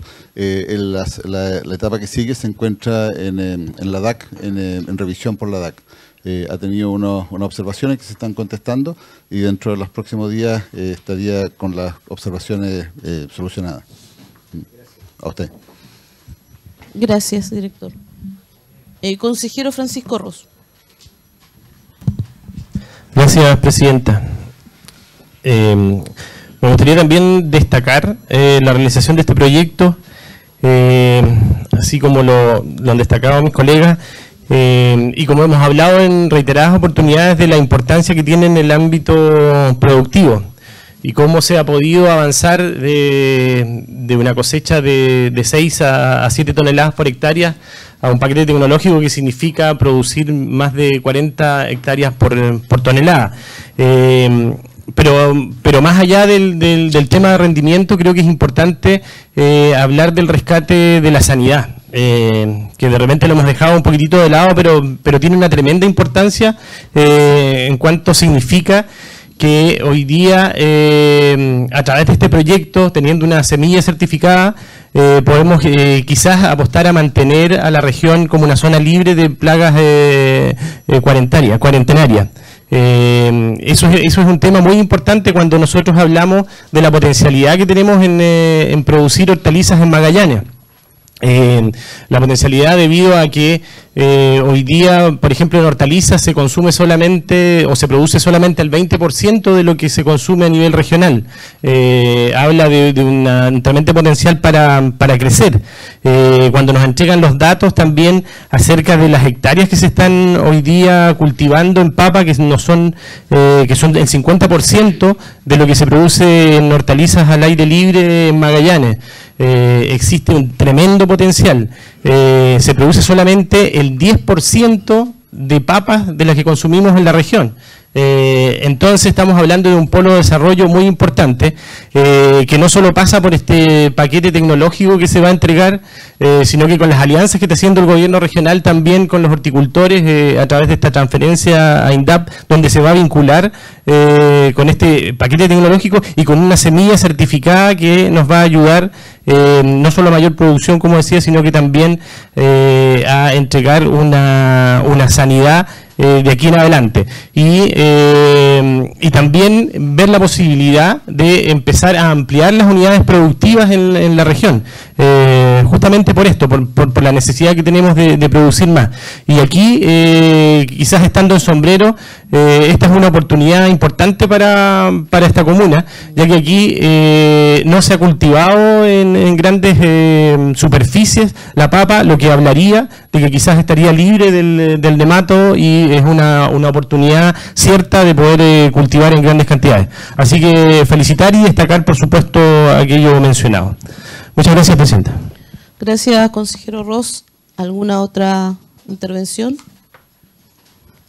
Yo solamente sumarme a lo que han dicho los consejeros que me precedieron, consejero Galvez, consejero Francisco Ross, en el sentido de que eh, hemos avanzado en este último tiempo en un tema de sanidad importante que debiese haberse abordado mucho antes y afortunadamente con el trabajo en el, el trabajo conjunto que se realizó hoy día podemos decir que estamos avanzando fuertemente en este tema de sanidad tan importante para la región de Magallanes. En, un momento determinado existió una preocupación bastante grande de parte del Consejo Regional con lo que estaba sucediendo y hoy día vemos cómo con tecnología incluso se está avanzando mucho más allá de los objetivos iniciales que eran eh, tener una semilla certificada y hoy día estamos eh, dando el ancho con este proyecto a toda la región de Magallanes, porque este es un proyecto de toda la región de Magallanes y que nos permite decir vamos por buen camino. Ojalá este trabajo siga en adelante y no se pierda. Así que felicitaciones a la gente de línea porque no solamente es un proyecto, también sé que han puesto más esfuerzo del que realmente eh, correspondía eh, realizar.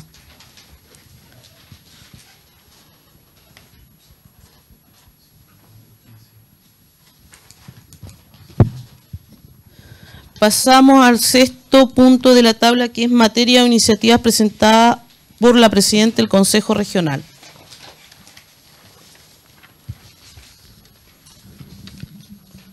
Cabe señalar que esta moción nos llegó hoy día, pero también fue trabajada en conjunto con la Comisión de Presupuesto que preside el consejero Galvez. Moción número 285 de fecha 10 de octubre del 2017. Habiendo sido trabajada esta iniciativa por la Comisión, se sugiere al Pleno del Consejo Regional sancionar la petición de la empresa Piscicultura Tierra del Fuego, Sociedad Anónima, para acogerse a los beneficios tributarios y aduaneros de la Ley 19149 de 1992, Tierra del Fuego. El detalle se consigna en los siguientes términos. Empresa, Piscicultura Tierra del Fuego, Sociedad Anónima, RUT 76.720.095-1. Rubro, cultivo de especies acuáticas en cuerpo de agua dulce, paréntesis, piscicultura, recirculación, cierre paréntesis, código número 051-010, número 051-020 y número 051-090. Dirección, servidumbre, lote 24E, kilómetro 42, comuna de Porvenir, Tierra del Fuego.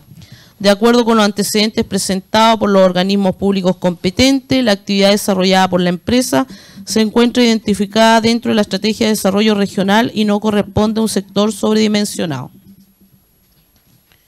Y le voy a dar la palabra al secretario ejecutivo porque esta fue una moción que en sus inicios no se pudo eh, ver porque teníamos inconveniente quien declaraba la sobredimensión del sector y la identificación de la estrategia. Gracias, Presidenta. Bueno, este es un ejemplo palpable de lo que significa el trabajo del Consejo Regional, que no solamente es lo que han podido apreciar hoy día quienes nos acompañan, que es levantar la mano y manifestar su apoyo a esta iniciativa. Acá hay un trabajo de larga data, hay que considerar que esta situación eh, ingresa al Consejo Regional allá por el mes de mayo. El Consejo Regional eh, establece claramente la preocupación respecto de poder emitir un pronunciamiento que sea absolutamente validado, ya que el Consejo Regional debe fundar claramente sus propuestas. Sus decisiones no pueden ser por un mero acto caprichoso, por llamarlo de alguna forma, sino que tiene que estar debidamente fundado. Y ahí había una complicación por parte de eh, qué organismos debían efectivamente proporcionar la información validada, técnica, científicamente, eh, administrativamente, y situación que afortunadamente pudo extrabarse insisto, no tiene que ver con situaciones propias del Consejo Regional, pero el Consejo solo puede emitir una opinión cuando hay un organismo que le entrega los antecedentes de rigor. Y este caso se pudo cumplir efectivamente hace un par de días atrás para satisfacción de aquellas personas que están efectivamente esperando poder acogerse a los beneficios de la ley Tierra al Fuego, en este caso en particular. Y en lo que dice relación con el tema de la piscicultura, eh, ingresan los antecedentes, ahora lo está siendo proporcionado por los organismos que están vinculados al sector. En este caso, eh, la Subsecretaría de Pesca entrega la información de que habla efectivamente que no es un sector sobremencionado, da una serie de alcances técnicos sobre la materia eh, y concluye eh, con el informe de la, de la Unidad de Desarrollo Regional que señala que lo identifica claramente dentro de dos aspectos que forman parte de la Estrategia Regional de Desarrollo. De esta forma, entonces, el Consejo Regional puede cumplir rápidamente y, ya queremos que a partir de esta situación todos los otros proyectos que lleguen eh, peticionando eh, esta condición van a poder ser rápidamente eh, sancionados por el Consejo Regional y así beneficiar a todos quienes esperan que la posibilidad de desarrollo se pueda ejecutar de manera rápida y los beneficios de esa acción puedan llegar efectivamente a la mayoría de la gente y en particular a la población que habita esta provincia de Tierra del Fuego. Gracias, presidente.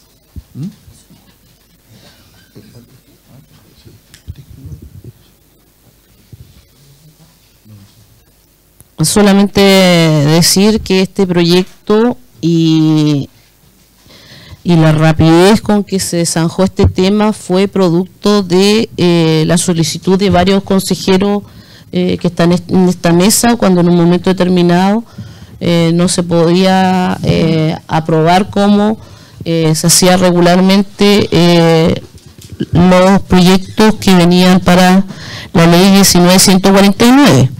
Y debo decir otra cosa además de este proyecto, que este proyecto es conocido por el Consejo Regional porque en algún momento llegó a la Comisión de Medio Ambiente y donde eh, la legalidad nos obligaba a votar el proyecto favorablemente. Posteriormente cumplió la etapa y hoy día vamos a dar paso a votar este proyecto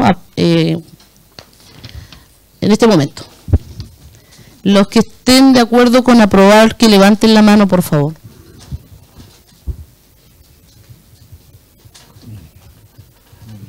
Es unánime. Y no quise continuar eh, hablando del proyecto, ¿por qué razón? Porque estábamos, eh, teníamos que votar primero para poder opinar.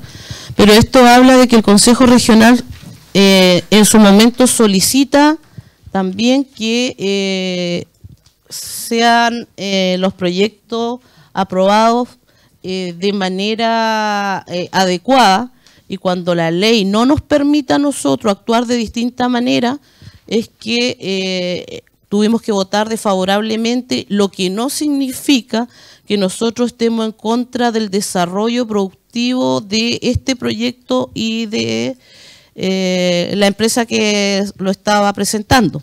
Hoy día damos eh, fe y somos testigos de que el Consejo Regional es el primero en estar interesado que se desarrolle productivamente los proyectos para el beneficio de los ciudadanos y ciudadanas de Magallanes. ¿Alguna otra opinión? Perfecto. Entonces pasamos al punto séptimo de la tabla eh, con la solicitud de documentos de oficio. Consejero Eterovich, consejero Sierpe. Consejero Eterovich. Gracias, Presidenta. Eh, dos solicitudes, dos oficios. Eh, el primero para solicitar a- dirigido a la Superintendencia de Educación, en realidad, y producto de inquietudes de, de apoderados.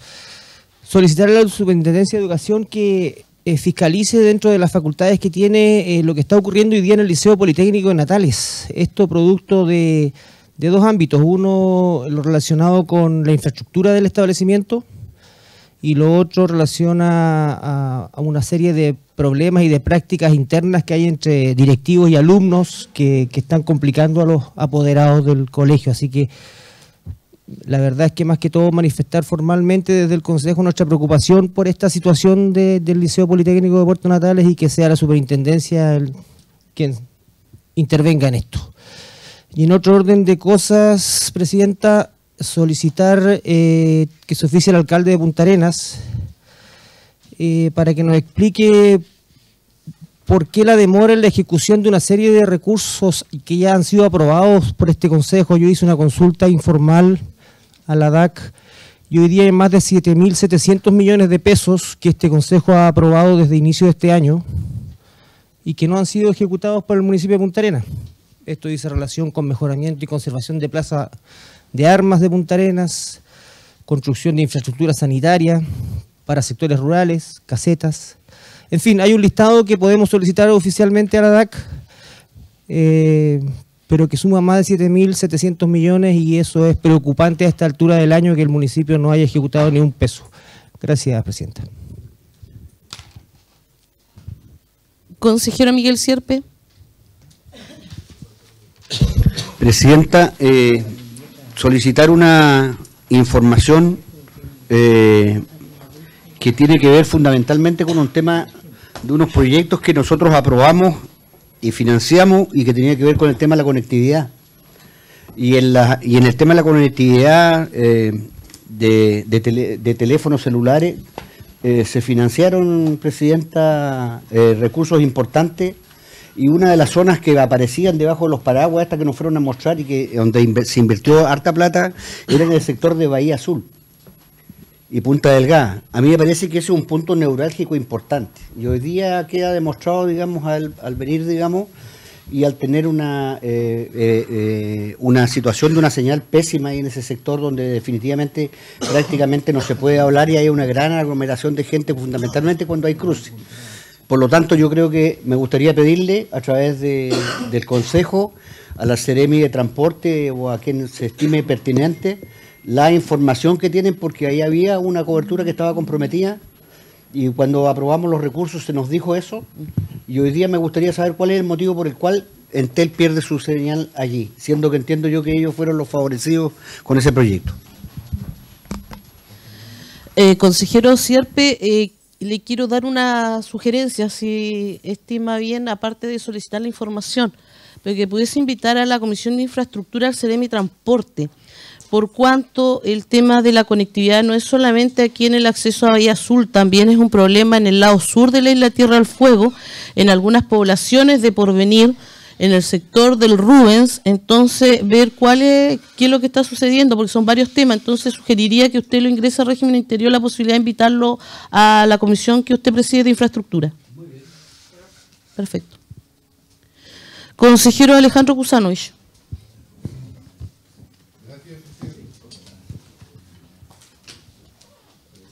Gracias, Presidenta. No, ah, para eh, complementar un poco lo que dijo Miguel Sierpe, eh, hay un tema que yo estaba averiguando hace tiempo, que hubo un cambio de la ley del tema de las antenas y de la potencia de los transmisores, que un poco lo- el único que le ha hecho cumplir es este es Entel, entonces eh, bajaron la altura de las antenas y bajaron la potencia de los transmisores de acuerdo a esta nueva ley, que lamentablemente hicieron una ley que estaba hecha un poco para las ciudades y no se percataron del tema de las zonas rurales, donde el tema de la, de, la, de la altura de la antena y el tema de la potencia es importantísimo para poder tener cobertura. Y aparentemente ese es uno de los problemas que hay acá en las zonas rurales con este tema. Eh, producto de una ley que se hace para la ciudad, de repente toda la parte rural queda afectada con el tema. Eh, pero lo que yo quería era otro tema. Eh, con respecto a la planta de tratamiento de, de aguas servidas que tenemos acá en, me gustaría eh, oficiar al intendente y oficiar a la directora de obras hidráulicas que nos vaya a exponer y el, y el intendente sepa y trate de ver qué se puede hacer porque es una planta que cuando nosotros asumimos había sido aprobada por el consejo anterior y eran 2.600 millones y se pidieron 900 millones adicionales para hacer este una, una corrección del proyecto que estaba mal hecho y resulta que hablando con el alcalde me entero que todavía no está funcionando y tiene una serie de problemas y, y fallas, etcétera y lo que igual ya me parece que es como medio ya escandaloso porque ya esto fue hace casi tres años atrás y seguimos con el problema, digo. Así que me gustaría, no sé si que nos fuera a exponer la directora de obra hidráulica y, y, y oficiar al intendente de este problema para que trate de averiguar qué es lo que está pasando. Gracias. Gracias, consejero Cusano, y efectivamente lo habíamos conversado antes de la reunión. Me parece que hay que oficiarle al intendente, pero además habría que invitar a la directora de obra hidráulica a la Comisión de Infraestructura, eh, que también podría ingresarlo el presidente. Gracias, consejero Sierpe, porque esta planta ha sido un gran dolor de cabeza, no solamente para el alcalde, sino que también para el gobierno regional. Y la inversión ha sido altísima y no es posible que hoy día eh, no esté funcionando como corresponde. Sí que estoy completamente de acuerdo con su petición. ¿Algún otro oficio? Consejero Francisco Rosso. Gracias, Presidenta. Eh, solicitar a la Dirección de Aeropuertos, o al MOP, eh, la consulta si se contempla eh, señalización e iluminación a la pista alternativa 321 del aeródromo eh, Fuentes Martínez de Porvenir. Eso, Presidenta. Gracias. Gracias, consejero Rosso.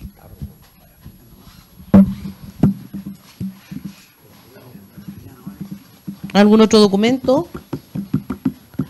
No habiendo más documentos u oficios a solicitar, pasamos al punto número 8, varios.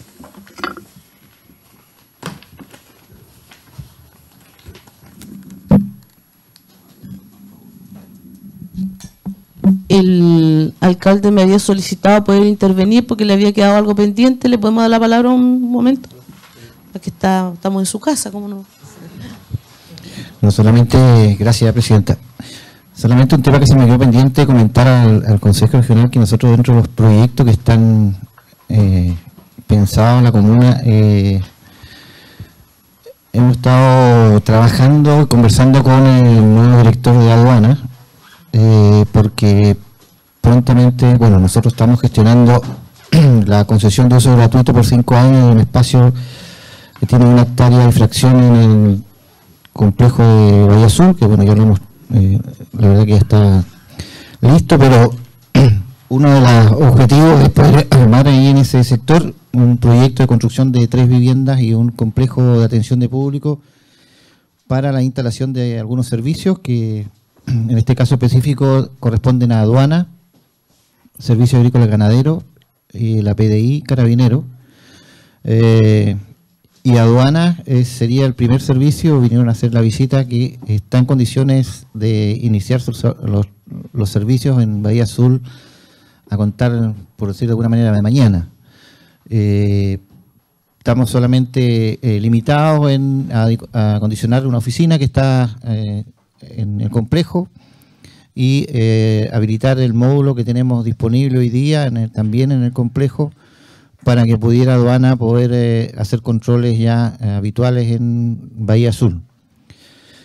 Esto en consideración de que se están presentando una serie de, hoy día el único control de acceso a la isla Tierra del Fuego que tenemos es por el lado de San Sebastián y el paso Bellavista en la temporada que corresponde, pero se ha visto una, sobre todo lo que sale dentro de nuestro territorio. Hoy día no existe un control eh, en lo que tiene que ver, de, por ejemplo, el ingreso de droga, el tema del abigeato y el ingreso que se está generando en algunos casos de elementos desde nuestros vecinos, vecinos argentinos por pasos no habilitados hoy día en la isla Tierra del Fuego, que es un territorio bastante extenso.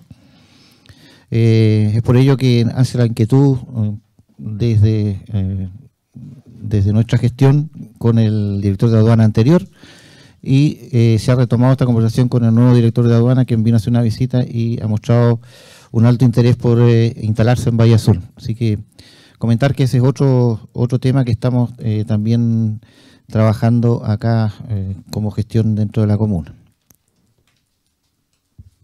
Gracias, alcalde. Bueno, yo como me conocen los consejeros regionales, siempre cuando se aprueban proyectos de la provincia de Tierra del Fuego les doy las gracias por su aprobación y en este caso eh, lo que se aprobaba a ir en directo beneficio de nuestra gente de la provincia, así que les agradezco eh, que hayan eh, concurrido con su voto favorable.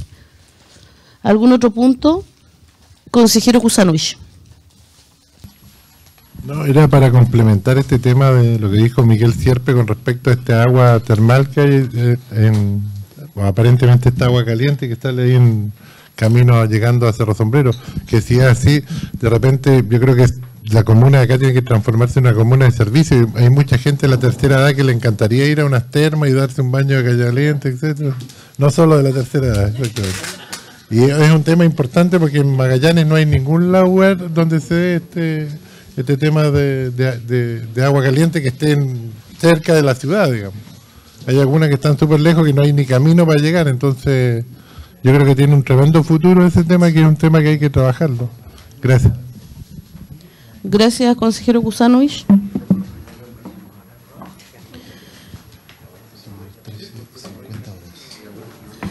No habiendo más puntos que tratar, siendo las 13.50 horas, en nombre de Dios y de las cuatro provincias de la región de Magallanes, se da por terminada la sesión número 27 ABA.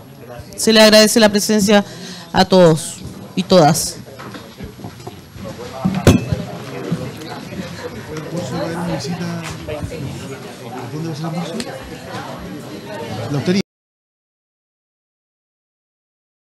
De ahí mismo partimos para ver. Allá, ok. Bien, bien eh, consejeros, consejeras, ahora vamos a la hostería del almuerzo y de...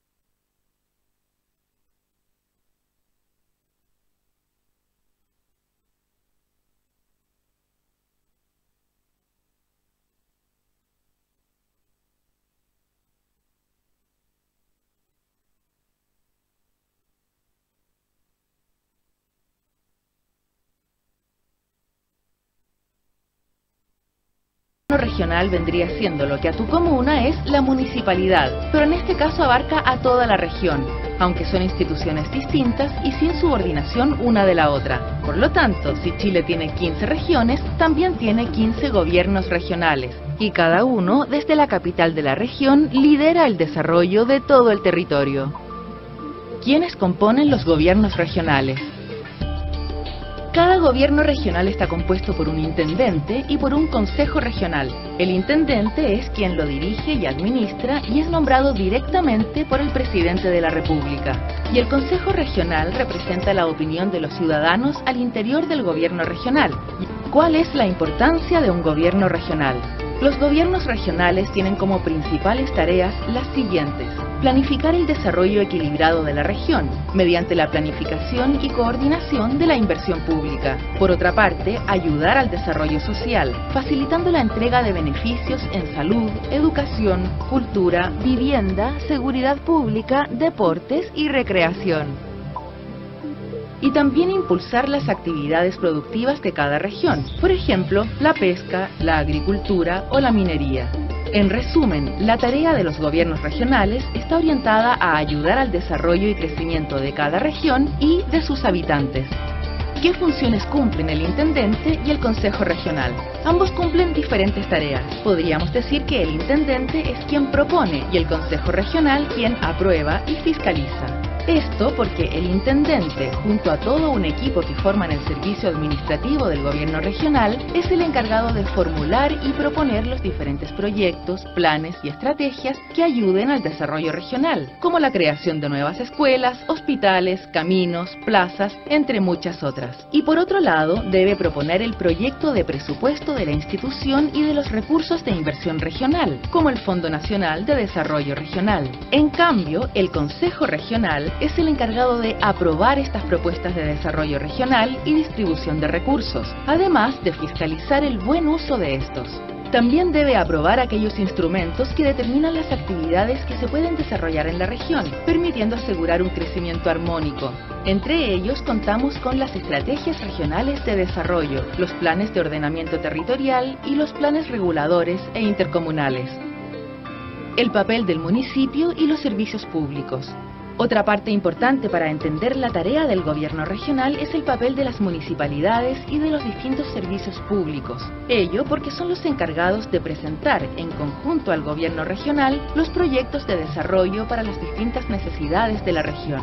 Por ejemplo, si en una comuna es necesario construir una escuela, entonces la municipalidad, junto con el Ministerio de Educación, se ponen de acuerdo con el gobierno regional y presentan un proyecto para su construcción. O si es necesario adquirir nuevo equipamiento para un consultorio, entonces la municipalidad, junto al Ministerio de Salud, presentan el proyecto al gobierno regional. El trabajo conjunto. En resumen, podemos decir que las municipalidades, en conjunto con los servicios públicos, identifican las necesidades de la gente y de acuerdo a las orientaciones y planificación del gobierno regional, ingresan sus proyectos para que el intendente los revise, priorice y presente al Consejo Regional para su aprobación y financiamiento a través de los recursos de inversión regional. Y una vez aprobados estos proyectos, las municipalidades y los servicios públicos, por mandato del gobierno regional, ejecutan las Ahora que ya sabes lo importante que es el gobierno regional para el desarrollo de tu región y quieres saber más de sus tareas o proyectos realizados, lo puedes averiguar en Subsecretaría del Desarrollo Regional y Administrativo, Gobierno de Chile.